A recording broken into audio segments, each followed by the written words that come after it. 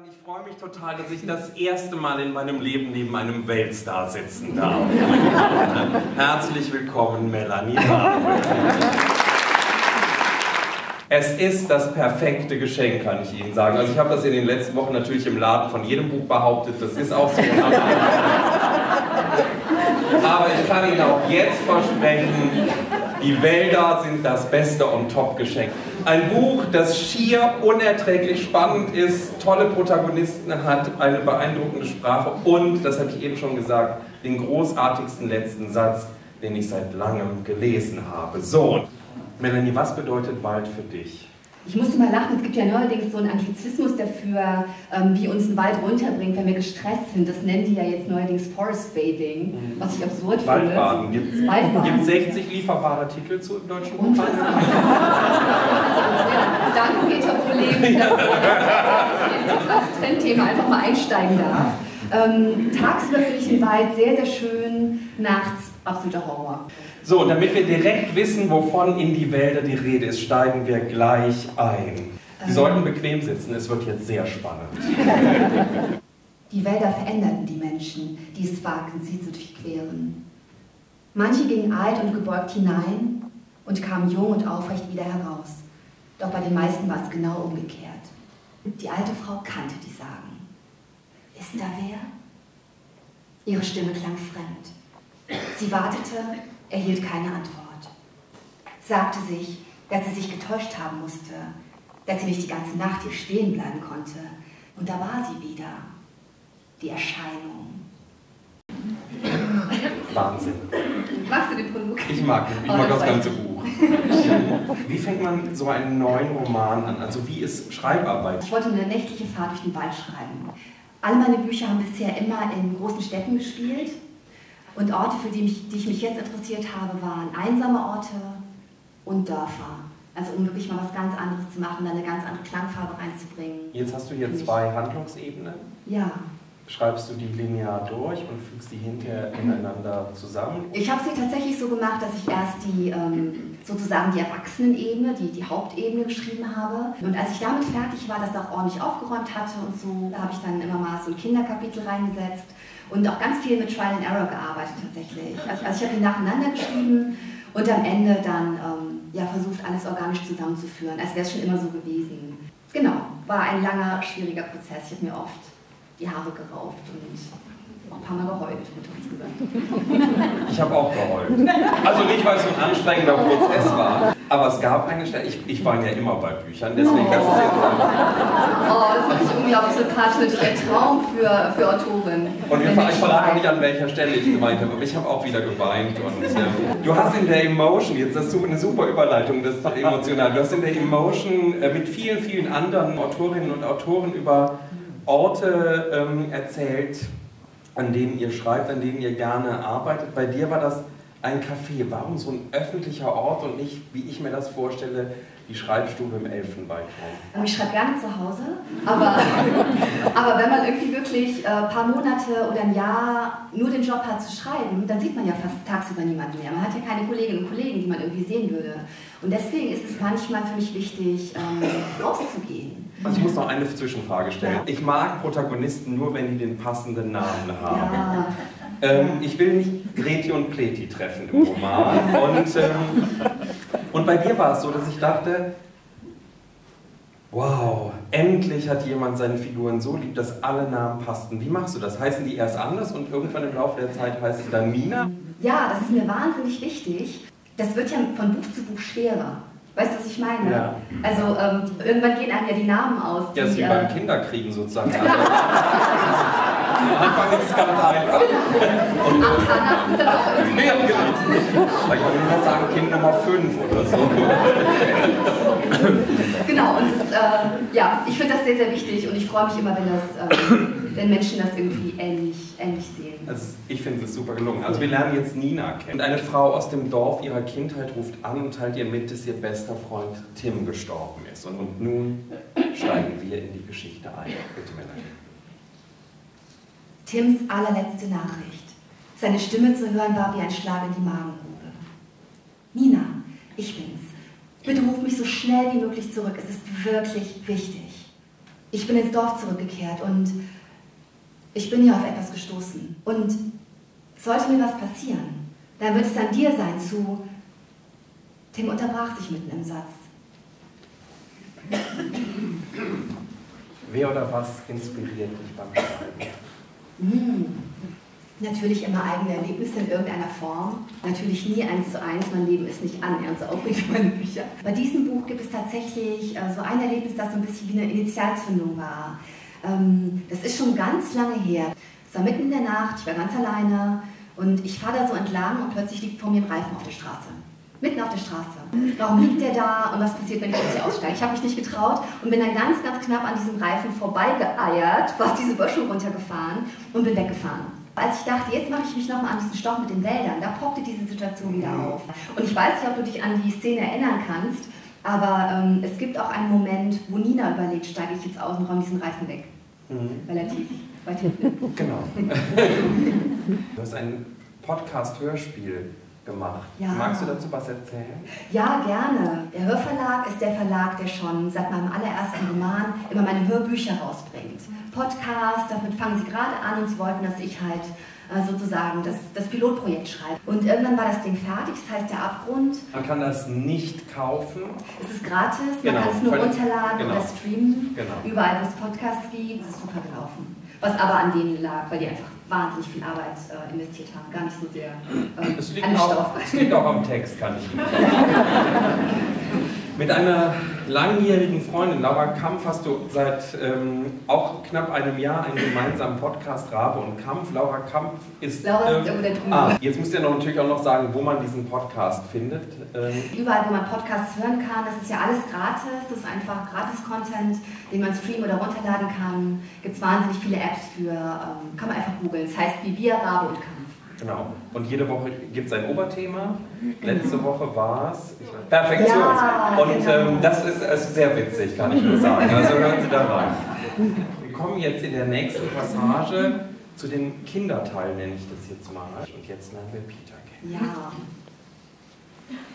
Peter ist ungefähr ähm, neun. Als Peter eines Spätsommerabends alleine durch die Straßen des Dorfes lief, und den großen dunklen Wagen in der Nähe des Schrottplatzes stehen sah, wusste er daher sofort, dass etwas Schreckliches passieren würde.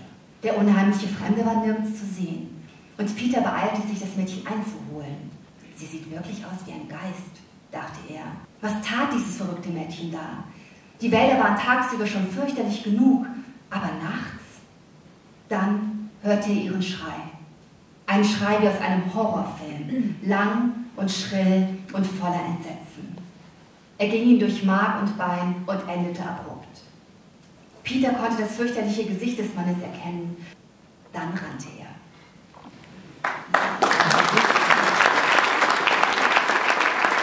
Es wird noch viel spannender. Kindheit. Kindheit ist ein zentrales Thema in die Wälder wenn du an deine Kindheit zurückdenkst, denkst du dann an Wiel oder eher an den kleinen Ort in Thüringen? Beides. Es ist genau 50-50 geteilt, denn ähm, ich habe acht Jahre, die ersten acht Jahre in dem kleinen Dorf in Thüringen gelebt, 400 Seelendorf, ähm, inzwischen hast du sogar einen Wikipedia-Eintrag, wie ich immer wieder erstaunt sehe. Und dann die restliche Zeit bis 18, 19, auf jeden Fall bis zum Abi war ich hier. Also ganz genau 50-50. Ich weiß auch nie, was ich antworten soll, wenn man mich nach meiner Heimat fragt. Das ist beides. Ismail und Greitschen bei Bürgel. Damit ist die nächste Frage erledigt. Jetzt ist es noch komplizierter tatsächlich, weil ich jetzt äh, festgestellt habe, ich habe mittlerweile an keinem Ort länger gewohnt als in Köln. Also deutlich länger. Ich habe es, glaube ich, in Köln doppelt so lange gewohnt wie überall sonst. Also ich glaube, wenn man ein paar Mal umgezogen ist in seinem Leben, dann trägt man das irgendwie so mit sich und es hat eher mit Menschen zu tun als nur mit dem Ort. Aber ähm, ja, komplizierte Antwort. Hast du ein reales Vorbild beim Schreiben gehabt? Nicht wirklich. Meine erste Idee war, der, ähm, das erste Kapitel soll eine von mir erfundene Sage über diesen Wald sein, in dem dieses kleine Dorf liegt. Der Wald, den ich mir vorstelle, den gibt es in Deutschland nicht. Noch nicht mal in Lindlar. Also der ist wirklich ähm, so alt, so tief, so dunkel. Ich stelle mir eine Fahrt durch den Wald vor. Also so wirklich einen ganz tiefen, endlosen Wald. Und ein Dorf, das wirklich ähm, fast abgeschnitten ist von der Außenwelt. Und so abgeschieden ist noch nicht mal Greitschen bei Bürgel, muss man einfach sagen. Natürlich ist es so, wenn ich mich hinsetze und, ähm, und versuche, etwas zu kreieren, wo man dann quasi auch drin rumlaufen kann als Leserin, als Leser, was man irgendwie so ein bisschen vor sich sieht, ähm, bin ich natürlich irgendwie auch zurückgeworfen auf die Bilder, die ich selber im Kopf habe. Und wenn ich Dorf denke, poppen Bilder aus Kreischen auf. Das lässt sich überhaupt nicht, ähm, überhaupt nicht negieren. Und natürlich poppen auch Bilder aus meiner Kindheit auf, aus Wiel, aus, ähm, aus anderen Orten, die ich kenne. Und ähm, deswegen ist es immer eine Mischung aus meiner Fantasie und Orten, die einfach ähm, irgendwo hier in meinem Kopf, ich weiß nicht, wo das Zentrum für Erinnerung ist, irgendwo hier in meinem Kopf drin sind. Das ist eine Mischung. Also ich habe tatsächlich dieses Mal mir vorgenommen, das ist nicht mein Dorf. Und ich will auch nicht, dass es irgendwie erkennbar ist, aber ich glaube, es ist nicht hundertprozentig gelungen. So ein paar Stellen, ne? oder Mama? Ja. Ein paar Stellen, wenn man Menschen kennt. Sag mal, als, äh, als du angefangen hast, das Buch zu lesen, hast du dann nach dem Prolog gedacht, dass, äh, dass ich mit diesem Buch ins Übersinnliche abdriften werde? Nein, ich Nein? hatte nur Angst.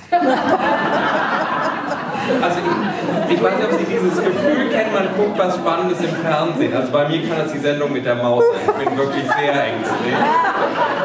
Dann sitzt man ja immer so da und irgendwann macht man so. Und so ging es mir bei diesem Buch. Ich meine, so kann man einfach nicht weiterlesen. Ja?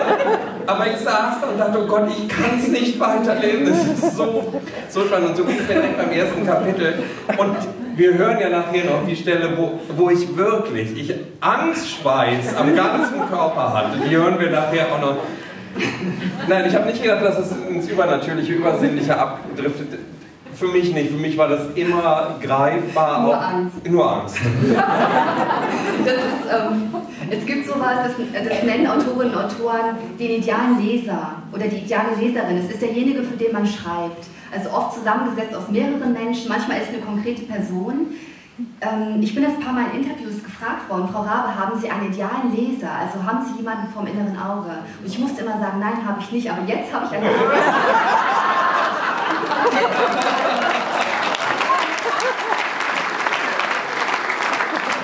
Nina ist äh, ja, sieben, acht ähm, in diesem Moment und ähm, ist gerade erst mit ihren Eltern ins Dorf gezogen und ist sozusagen die Neue und lernt Tim und einen anderen gemeinsamen Freund namens David kennen. Wir wollen nachher noch zur alten Eisenbahnbrücke, sagte Tim, der Kleinere, schließlich ganz beiläufig, was dem anderen, David, ein theatralisches Stöhnen entlockte. Es ist verboten, dahin zu gehen. Das Holz unter ihr gab nach und Nina hatte keinen Boden mehr unter den Füßen. Verzweifelt versuchte sie, sich an der Bohle festzuklammern. Tränen in den Augen vor Angst und Anstrengung. Dann war Tim bei ihr. Die letzten Meter bis zum Ende der Brücke hatten sie auf allen Vieren zurückgelegt. Halb aus Angst, noch einmal einzubrechen, halb aus der Schöpfung. Den Heimweg legten sie schweigend zurück. So wie nur Freunde es können. Um das noch eben zu Ende zu erzählen, ich habe auch noch Höhenangst. Den Jan Leser. Das war auch eine meiner absoluten Horrorszenen, dieser, dieser Moment, wo die da einstürzt und ich dachte, ach du Schreck, bitte, bitte. Wir müssen noch über drei Dinge ähm, reden. Gibt es schon Informationen aus Hollywood, was die Verfilmung der Fall angeht? Nicht wirklich. Kein Mensch weiß, wie lange das dauert, ähm, welches Buch dann als erstes im Kino ist oder auf Netflix oder auf Amazon Prime oder wo auch immer. Ähm, keine Ahnung. Also ich kann gar nichts dazu sagen. Wir warten weiter geduldig. ähm, gibt es schon Pläne für ein neues Buch und darfst du schon was erzählen? Ja, tatsächlich. Also ich, ähm, ich stecke schon wieder knietief drin und ich habe mir tatsächlich überlegt, da ich viel zu wenig zu tun habe, schiebe ich einfach ein Sachbuch zwischen die nächsten, zwei nächsten Thriller. Ich schreibe gerade ein Sachbuch, das hat tatsächlich mit, äh, mit Laura in meinem Podcast zu tun, denn wir sprechen ja einmal pro Woche über Kreativität, über alles, was damit zu tun hat. Ist auch gar nicht nur für Leute, die wirklich auch selber in einem kreativen Job arbeiten, sondern eigentlich für jeden, weil es geht um Ideenfindung, um Selbstbewusstsein, um, äh, um Inspiration, um Disziplin, um Prokrastination, mein persönliches Lieblingsthema, all das. Und äh, das ist mein nächstes Projekt und da freue ich mich wahnsinnig drauf. Gibt es schon einen Erscheinungstermin? Gibt es noch nicht, aber ich muss es schon im April abgeben und ich muss mich echt dran halten. Weil ich habe jetzt die letzten Tage viel rumgetrödelt mit Weihnachtskarten schreiben und Plätzchen essen. Die Plätzchen sind wieder die perfekte Überleitung zu meiner nächsten Frage. Ich habe selten mit Leuten auf der Bühne gesessen, die die Interviewfragen so vorhergesehen haben. Ich habe wirklich nicht geguckt. Nein, nein, weiß ich. Nein, nein, nein, weiß ich. Nein, nein. Wir machen jetzt eine Home Story. Lass uns über Weihnachten reden. Ja, ich liebe Weihnachten. Wie ja. feiert Melanie Rabe Weihnachten? Oh, also erstmal bin ich so ein richtiger Weihnachtsnerd. Ich bin ein richtig kitschiger Weihnachtsnerd. Ich liebe das volle Programm. Ich liebe Weihnachtsbaum, meinen habe ich heute schon geschmückt. Ich liebe die ganzen Traditionen, die da dranhängen. Ich liebe Rituale. Ich liebe das Essen natürlich. Meine Mutter ist die beste Köchin und Bäckerin des Planeten und arbeitet jedes Jahr daran, mich zu mästen. Und, äh, also alles. Ich ähm, feiere das komplette Programm ab. Ich liebe das. Total. Was, was ist dein Lieblingsweihnachtslied? Aktuell ist es ähm, Santa Claus is Coming to Town von, in der Version von Harry Connick Jr. Und dass ich hinzufüge, in der und der Version zeigt, was für ein Weihnachtsnerd ich bin. Wirklich. Meine Damen und Herren, damit sind wir fast am Ende angekommen, denn die letzte Passage mit einem derartigen Cliffhanger auf, dass ich Sie mit der Spannung, mit dieser Spannung, die wir gleich erleben, in den vierten Advents Sonntagabend entlassen möchte. Das war übrigens das Mal, wo ich am allermeisten Angst hatte. Sie werden gleich verstehen. So, und jetzt das große Finale. Tims Schwester Gloria ist verschwunden, Tim fehlt das letzte Puzzlestück und Nina befindet sich nun auf dem Weg ins Dorf, um herauszufinden, was das sein könnte, von dem Tim da gesprochen hat. Und sie nutzt eine Mitfahrgelegenheit, die Tim noch organisiert hat. Sie weiß anfangs nur, dass der Fahrer nicht warten wird und sie sehr pünktlich sein muss, aber kaum sitzt sie im Auto, da ist ihr klar, dass der Fahrer niemand anders ist als Wolf, der Mann, der für Glorias Verschwinden verantwortlich zu sein scheint. Und ihre Angst vor dieser Fahrt der Heimkehr ins Dorf ist unerträglich, so wie bei mir. Genau, wir sind schon ein bisschen fortgeschritten, aber es, also danach passiert auch noch einiges. Also kein, kein zu großer Spoiler für die, die selber lesen mögen. Nina rieb sich benommen den Kopf, blinzelte und war mit einem Schlag hellwach. Mitten in der Nacht stand ein Mann. Ein ungutes Gefühl breitete sich in ihr aus. Eine junge Frau und zwei fremde Männer, allein im Wald. Der kranke Gedanke, dass Wolf sich mit einem Komplizen verabredet hatte, um eine weitere junge Frau zu verschleppen, der Gedanke traf Nina wie ein Kübel Eiswasser. In diesem Moment trat Wolf aufs Gas und fuhr los. Ich danke mich an dieser Stelle jetzt erstmal dafür, dass Sie alle gekommen sind. Also ein Gruß auch an BTB, die das möglich gemacht haben, die ja anfangs skeptisch waren. Wir haben wieder bewiesen, in Wiel kommen die Leute, wenn gelesen wird. Danke Ihnen. Ich bedanke mich für vier spannende Bücher. Für eins ist mich echt in Angst und Schrecken. Ich bin froh, dass das nächste ein Buch über Kreativität ist. Melanie wird nachher nach einer kurzen Pause, ich würde sagen fünf Minuten, verschnaufst du erstmal am Büchertisch draußen oder neben dem Büchertisch alle Bücher signieren für sie. Dankeschön. Also auch von mir vielen, vielen Dank. Äh, und natürlich ans Publikum. Also ich finde es immer noch total irre, dass, äh, dass am 4. Advent so viele Leute da sind.